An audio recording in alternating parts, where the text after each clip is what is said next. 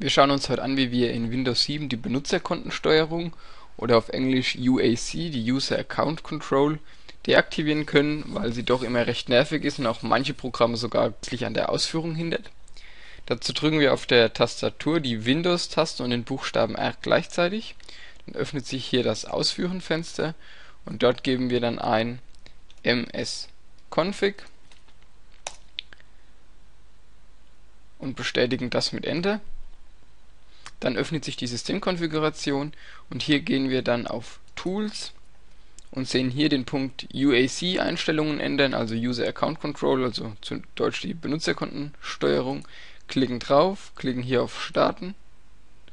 und schieben den Regler hier von diesem Feld, das ist die Standardeinstellung, auf das letzte, also auf Nie benachrichtigen, bestätigen das mit OK und jetzt muss Windows noch neu gestartet werden, dann wird diese Änderung auch wirksam